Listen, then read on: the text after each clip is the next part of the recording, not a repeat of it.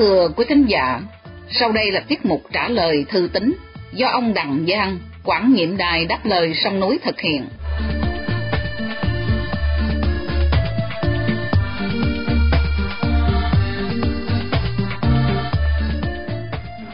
Thưa quý thính giả, trong thời gian qua, việc nhà cầm quyền thành phố Hà Nội tuyên bố quyết định khởi tố người dân xã Đồng Tâm, mặc dù trước đó Chủ tịch Ủy ban Nhân dân Hà Nội là ông Nguyễn Đức Trung đã cam kết không truy tố. Đó là một sự kiện được rất nhiều thính giả bàn thảo qua thư tín gửi đến đài đáp lời sông núi của chúng tôi. Trong số này thì nguyên do nào đã khiến cho Cộng sản Việt Nam lật lọng cáo trở như vậy? Đó là câu hỏi mà nhiều thính giả đã đặt ra. Chẳng hạn như bà Kiều Lệ ở Hà Nội, và nêu thắc mắc, chúng tôi xin trích. Tôi không thể mường tượng ra nổi cái lý do đã khiến đảng muối mặt quyết định khởi tố dân chúng đồng tâm trong khi trước đó không đầy hai tháng, ông Trung đã thay mặt đảng viết giấy cam kết nói rõ không truy cứu trách nhiệm hình sự đối với toàn thể nhân dân đồng tâm.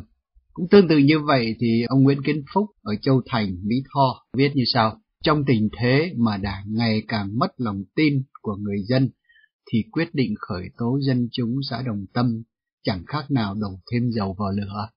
Theo quý đài, thì động lực nào đã thúc đẩy đảng quyết định vô cùng ngu xuẩn như vậy?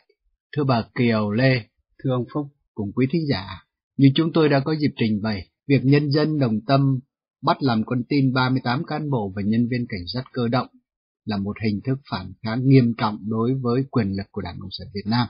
Một quyền lực mà từ trước đến nay có tích cách tuyệt đối và vĩnh viễn như đã quy định trong Điều 4 của Hiến pháp vì vậy, Đảng lo ngại nếu không có các biện pháp răn đe, hình thức phản kháng này sẽ trở thành một cái tiền lệ được dân chúng các địa phương khác bắt trước làm theo mỗi khi có tranh chấp đất đai, thì cái uy quyền và chiếc ghế độc tôn quyền lực của Đảng sẽ không còn vững chãi nữa.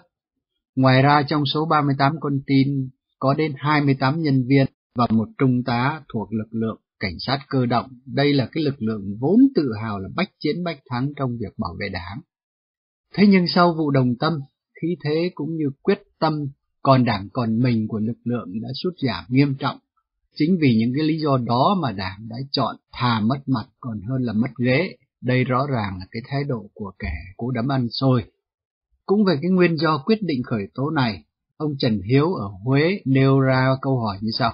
Quý đài nghĩ thế nào về lập luận cho rằng giấy viết tay của ông Nguyễn Đức Trung không có giá trị pháp lý vì ông trông chỉ là chủ tịch ủy ban nhân dân, không có thẩm quyền miễn truy tố những người phạm pháp. Vì vậy cơ quan cảnh sát điều tra Hà Nội khởi tố là đúng luật, không có gì đáng chê trách. Thưa ông Hiếu, lập luận này chỉ là cái lối giải thích có tính cách lấp liếm, chống chế, trước hết trong cái hệ thống cộng sản độc tài toàn trị hiện nay và đối đầu với một cái biến cố quan trọng trong đó 38 cán bộ và nhân viên cảnh sát cơ động bị người dân bắt làm con tin những cam kết mà Nguyễn Đức Trung viết ra chắc chắn không phải là cái sáng kiến hoặc quyết định của cá nhân ông ta, mà là quyết định của Bộ Chính trị sau gần một tuần bàn thảo cân nhắc.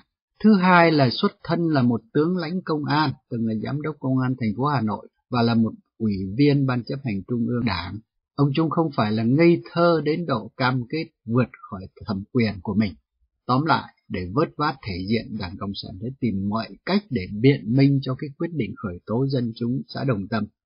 Và chúng ta cũng sẽ không ngạc nhiên khi thấy trong cái thời gian tới Nguyễn Đức Trung có thể bị khiển trách và có thể bị mất chức trở thành con dê tế thần trong vụ Đồng Tâm nữa. Cũng liên quan đến cái vụ khởi tố nhân dân xã Đồng Tâm, chúng tôi nhận được thư của bà Đoàn Kim Xuyến ở Long Khánh, tỉnh Đồng Nai, nêu sự kiện, tôi xin trích Trước đây, theo dõi các phát biểu của ông Dương Trung Quốc, tôi rất hãnh diện về vị đại biểu quốc hội của địa phương mình.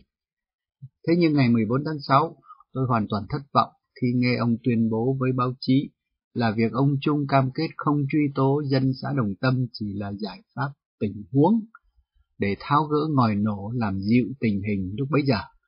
Còn quyết định khởi tố của cơ quan cảnh sát điều tra là hoàn toàn phù hợp với luật pháp.